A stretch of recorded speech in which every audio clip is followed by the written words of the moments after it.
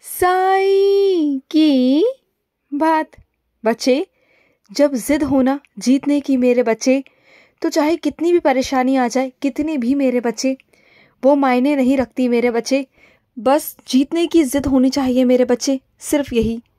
और सुनो, अभी तुम्हें ऐसा लग रहा है ना कि कुछ भी तुम्हारे हाथ में नहीं है, कुछ भी तुम्हारे हिसाब से नहीं है है ना? जो कुछ होता है, जो भी घर के फैसले हैं, परिवार के फैसले हैं वो तुम्हें बिना पूछे किए जाते हैं।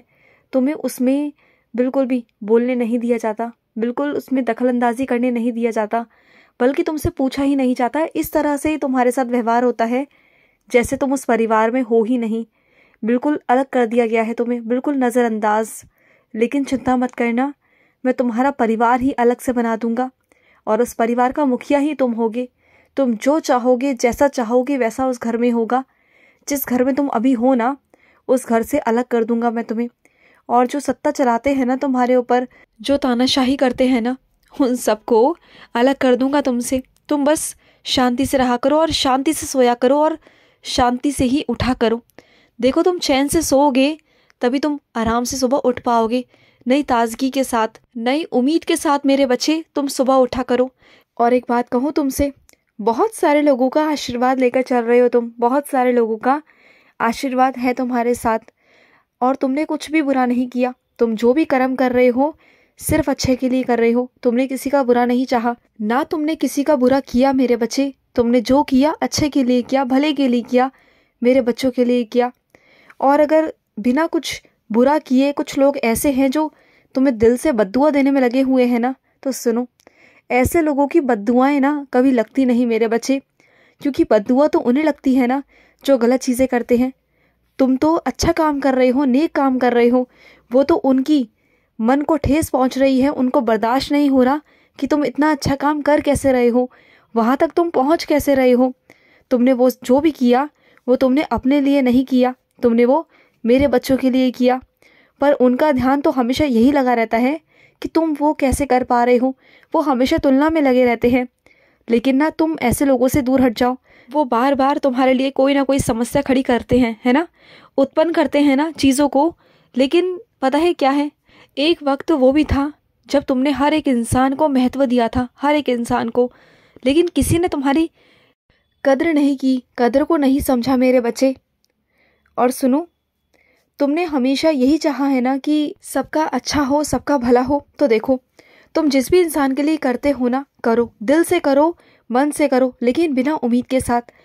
बल्कि उससे धन्यवाद की उम्मीद भी मत रखो कि वो तुम्हारे लिए कुछ धन्यवाद जैसे शब्द कहेगा, या शुक्रिया कहेगा, या कुछ अच्छी बातें तुम्हारे लिए कहेगा। जानते हो क्यों? क्योंकि वो एक मनुष्य है। और मनुष्य की प्रवृत्ति ही यही होती है कि चाहे उसके साथ कितना भी अच्छा कर लिया जाए, कितना भी। वैसे लोग हमेशा मतलबी ही होते हैं। और वो कभी तुम्हारी अच्छाई नहीं करेंगे, कभी नहीं करेंगे तो ऐसे में जाने दो।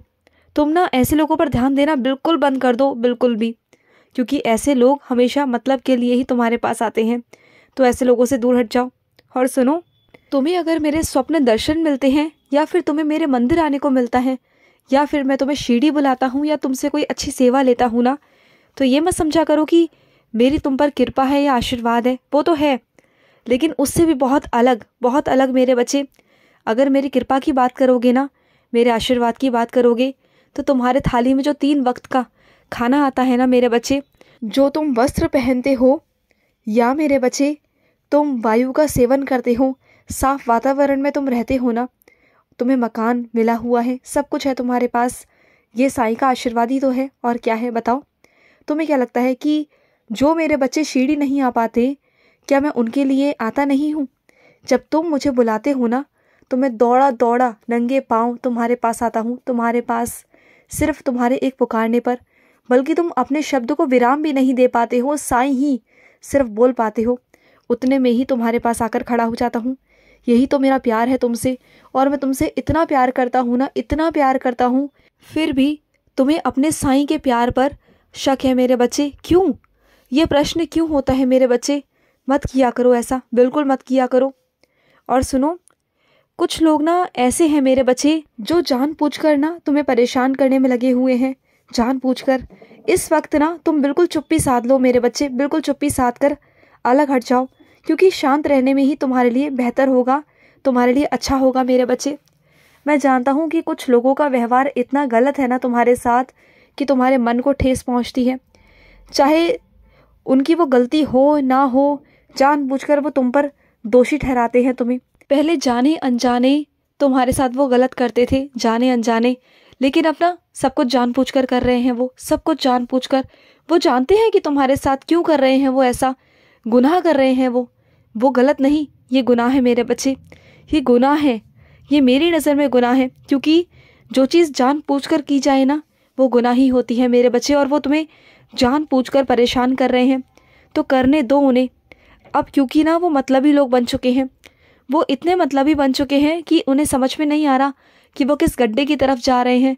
और आने वाले कुछ ही दिनों के अंदर, कुछ ही महीनों के अंदर ना, वो उस गड्ढे में गिरने वाले हैं क्योंकि वो अपने हाथों से अपना गड्ढा तैयार कर रहे हैं।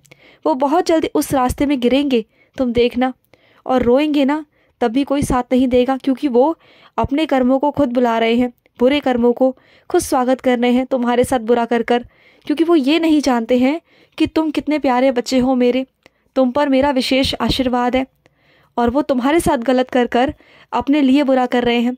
तो तुम ना इस वक्त ना शांत हो जाओ और अलग हट जाओ ऐसे लोगों से, क्योंकि उनका मकसद ना सिर्फ़ और सिर्फ़ तुम्हें परेशान करना, तुम्हारे मन को ठेस पहुंचाना, परेशान इतना करना कि तुम अपने काम से भटक जाओ, तुम्हारा काम में दिल ना लगे, तुम बीमार पड़ जाओ, बस वो यही चाहते हैं।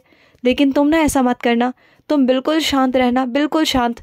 अगर वो कुछ कहते भी हैं ना तो बिल्कुल उनकी बातों को नज़रअंदाज करना शुरू कर दो, बिल्कुल मेरे बच्चे। जब तुम एक, दो बार, चार बार छः बार उनकी बातों का जवाब ही नहीं दोगे ना, जब उन्हें लगेगा कि तुम उनकी बातों को देख ही नहीं रहे, सुन ही नहीं रहे, चिढ़ ही नहीं रहे तो देखना, अपने आप एक तरफ़ हो जाएँगे, अपने आप। जब तुम उनकी बातों का जवाब देना ही बंद कर दोगे, चिढ़ना ही बंद कर दोगे ना तो वो परेशान होकर ना अलग हट जाएँगे अपने आप। और सुनो, कुछ लोग ना तुम्हें रो रो कर ये दिखाएँगे कि उनके पास चीज़ों की कितनी कमी है, उनके पास तो कोई चीज़ ही नहीं है। लेकिन जब अपनी बात आएगी ना तो पैसे खर्च करने में ना, वो पीछे नहीं हटते, कंजूसी बिल्कुल नहीं करते। बस जब तुम्हें देने की कोई बात होती है ना तो बस ऐसा रोते हैं जैसे उनके पास में कुछ है ही नहीं।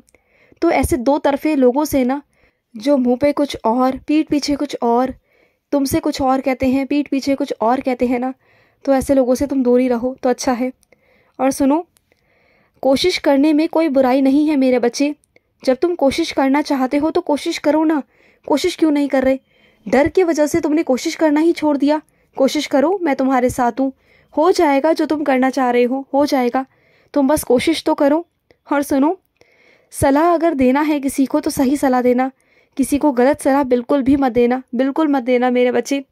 अगर किसी को कुछ बताओ, किसी का मार्गदर्शन करो तो वो अच्छे से सही से ही होना चाहिए कि अगर वो उस मंजिल तक पहुँच जाए तो उसके मुख से तुम्हारे लिए शुक्रिया निकले, उसके लिए दुआ ही निकले मेरे बच्चे। कभी कुछ ऐसा ना निकले कि वो गलत हो तुम्हारे लिए तो ये सब मत करना।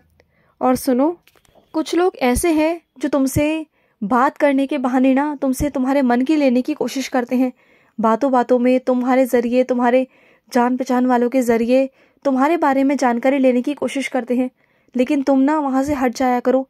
बात को काट कर वहाँ से निकल जाया करो, क्योंकि ऐसे लोगों को ना बहुत मज़ा आता है तुम्हारी बातें सुनने में, तुम्हारी निजी ज़िंदगी की बातें सुनने में। तो तुम दूरी ही बनाकर रखा करो, खुश रहो। आज का रात्रि साई संदेश समाप्त हुआ।